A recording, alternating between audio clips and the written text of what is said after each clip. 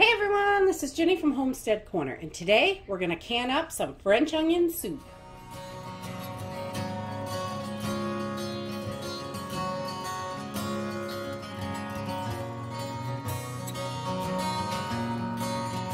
French onion soups is one of my absolute favorites, and really it is so simple and easy. I love making this and having it in the pantry and my onions I noticed down in my storage we're starting to get a couple of sprouts so we want to get those babies cooked up. I do not want them to go bad. So I pulled out um, all the ones that I wanted to get cooked and we're going to need about 12 cups of sliced onions. So um, and then we're going to need a little bit of red wine salt some beef broth uh, butter and garlic and we'll go ahead and get started. So I always start whenever I'm canning, get the canner filled up with water. I've got a couple inches of water in there and I'm going to put my jars right in the canner. They're all nice and clean, but I want to make sure they're sterilized before I put any food in. So we're just going to stick them right in the canner and let these heat up. So by the time we're ready for the jars, they will be all ready to put food in. So we're just going to start by slicing up our onions. And I want to get these pretty thin. And uh, I use whatever onions I have. Uh, a lot of recipes call for sweet onions. And that is absolutely delicious. But I have found it's still delicious no matter what onion. I haven't found an onion that's not good in this. I love, love, love French onion soup. So and this is so simple and easy. Really, the hardest part is is cutting up all these crazy onions. You'll be crying and the tears will be flowing, but it'll be worth it, I promise. So I just take my onion, I'm going to cut it in half. And then I'm going to take that piece out. I don't like the way that looks right there. A little weird spot. I'm just going to cut that right out. And then I'm just going to slice these. And about a quarter inch, between an eighth inch and a quarter inch, just so they're nice and thin, like so. And I'm just going to put them right into my measuring cup. And this is four cups, so I'll be able to measure about 12 cups really easily. And that, will get those right in there. There. And I am just going to keep cutting and I will bring you back. Okay, so once we get our onions all cut up, then I'm going to come over to the stove and I start with two tablespoons of butter. Just, I don't want the onions to stick and I want to cook these just a little bit and I want to give them some flavor. So I'm going to add about I've got two cloves of garlic, and because I'm going to cook these in batches, I'm only going to put about half in there because I'm going to cook this in two different batches because this is a whole lot of onions and it'll be easier to cook down half and then cook down the other half. And uh, so we're just going to get the garlic in there, the butter, and then we're going to start adding onions. And I'm going to put about six cups, about half of what I cut in there. Well, we're flying. We got flying onions. We're just going to get about half in there and we're going to cook these down because 12 cups is just about going to fill this pan. So um, I don't want to do that. I just, I'm going to start cooking these on a medium heat, uh, uh, medium high you don't want to overdo it. You just want to get them so they start to soften up and start to become translucent. It's just going to add more flavor to it is all I'm doing. I'm not worried about actually cooking them all the way through because that's going to happen in the canner. So we're just going to kind of hang around here and stir this. I don't want to scorch these or brown them. I just want to get them so they're starting to get translucent. That's about it and give them a little flavor with that garlic in there.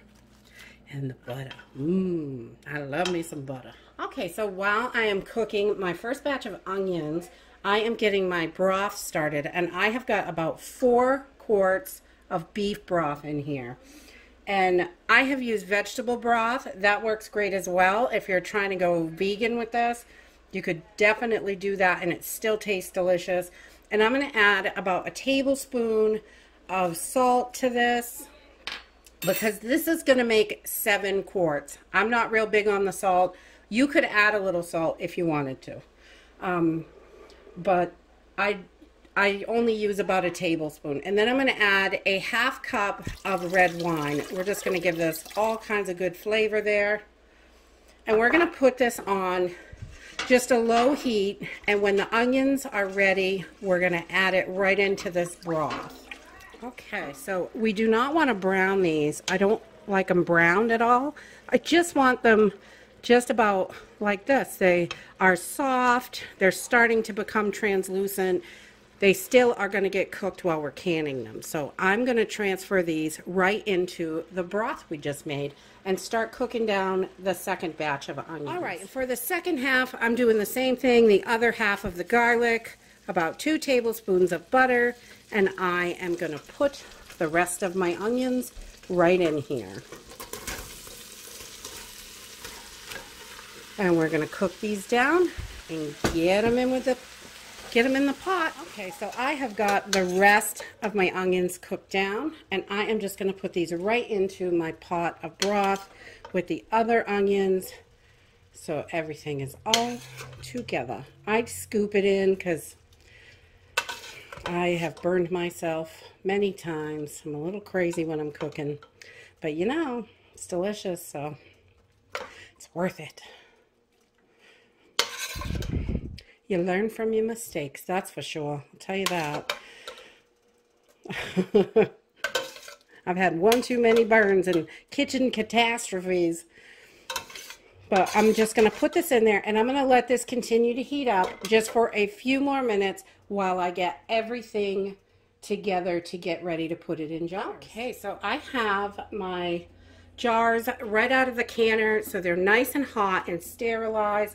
My um, French onion soup is all hot and ready to go. And I'm just going to start by taking a couple scoops of the onions and start putting them in the jars. I want to make sure I have enough onions in each jar.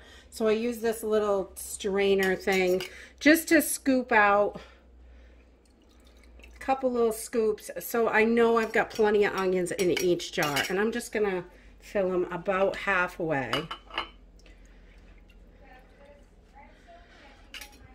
And then I will fill them with broth once I get the onions pretty much evenly distributed.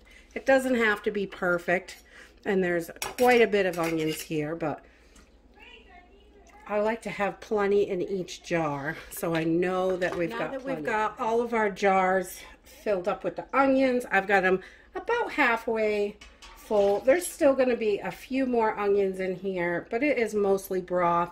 I am just going to fill these up to about one inch headspace. Mmm.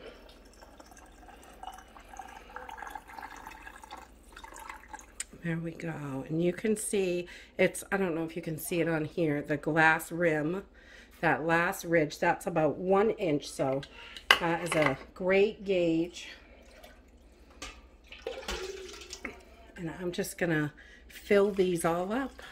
And I like to put an old towel down on the counter because my jars are hot and the cold counter can crack your jars. And I use an old stain towel because this is messy. And, or maybe I'm just super messy myself, but I've always got it all over the place. And the towel helps absorb it.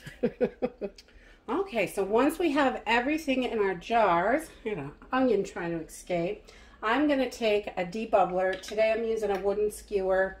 I usually use a Tupperware um, citrus peeler, but whatever you have. I just don't use metal on the hot glass jars because that can break your jar. So plastic or wood or whatever. We just want to move this around and debubble everything. Make sure there's no bubbles in there. This stuff isn't too bad. I don't usually have too many, but in the onion soup, because there's onions don't really, they don't get that many bubbles, but if your headspace drops, you can just add a little bit more broth to that. And then I'm going to take a paper towel and some white vinegar. Um, anything with fats or anything like that. There's not a lot of fat in here, but because I cook this in butter, the onions, I want to make sure that these are super nice and clean. So just a little white vinegar and I am wiping the rims of all the jars. And that way we know we're going to get a good seal. And then I'm just going to take, I've got my lids over here in hot water. And I got one wide mouth. Whoops. Should I jump off? Oh, those are warm. And I'm going to put a clean, warm lid on each jar.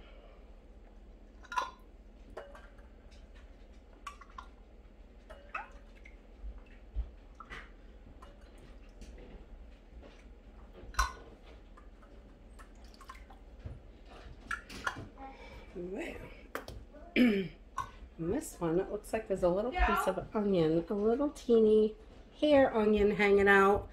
That can wreck your seal. So that little piece of onion, you want to make sure there's nothing that was right close to the top, but not quite over the edge. then we're going to add our rings. Once we get our rings on, and I just do these finger tight you do not want to over tighten these. It can make your lids buckle and then you're not going to get a good seal. So two fingers is how I do it. It's I've never had one buckle this way. It's how I was taught. Finger tight. You don't want to get it too tight. That could be bad.